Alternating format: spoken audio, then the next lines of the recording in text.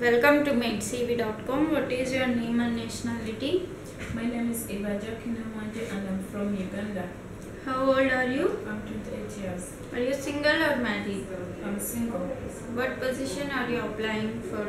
I'm for a nanny or maid position. When would you be able to start working? Immediately. Do you have relatives in UAE? No.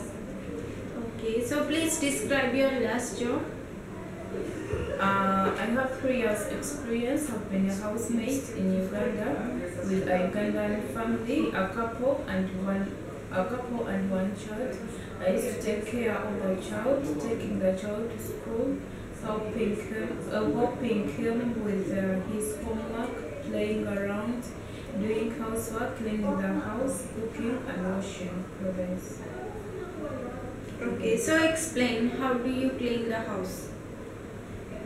Uh, with, uh, in Uganda, we first sweep the whole house, cleaning windows, cleaning door glasses, and then after mopping. Yes, how many times in a week do you have to change the bed sheets in a bedroom? It's twice for the master bedroom. So how will you maintain the cleanliness of the toilets? The cleanliness of Toilets. the cleanliness of the toilet, like uh, every time. I I the toilet every after one hour and I flush it. Yes. So what will you do if a delivery man came to the door and your employer is not inside the house?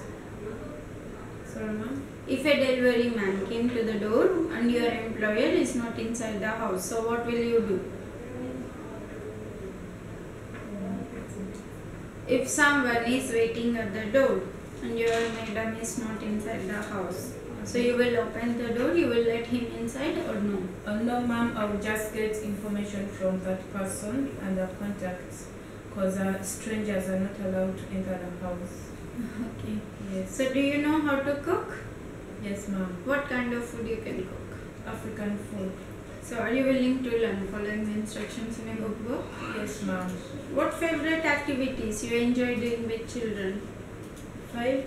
Hmm. Sorry, ma'am.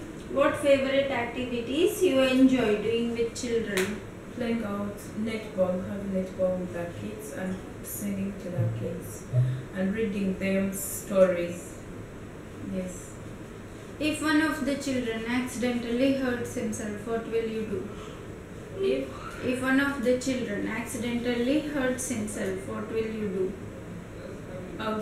I would give, uh, give the child a first aid kit, first aid kit, and uh, if uh, if it's much, I would, I would take the child to the hospital. Okay. Yes, So are you willing to do some light housework when the baby is sleeping? yes. What kind of work you can do? Kind of work? You can do when the baby is sleeping. What kind of work you can do when the baby is sleeping? Kind of food I can do when the Work. when the baby is sleeping. Yes. Rice.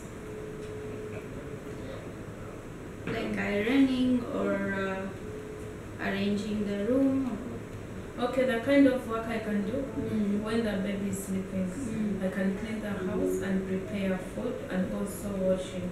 Okay. Yes, but I always do the washing in the morning. That's the first thing I do if I'm to wash. I clean the house, then washing, then after prepare food, after taking the child to school.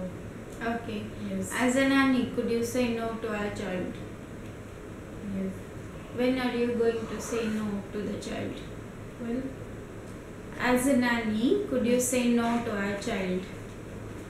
If the child is ask, a child asks you something, you will say no to him. not good for the children. No. I'll give you a situation, okay? Mm. If the child want to play with the scissor or with the knife, you will allow him to play? Throughout the night, Knife or scissors? no. No. If it is bad or dangerous to the child, you have to say no to the child, right? Yes, Okay, so how much is your expected salary? uh, 1,580. Okay. So, what kind of a housemaid or nanny are you? Describe yourself. What qualities do you have?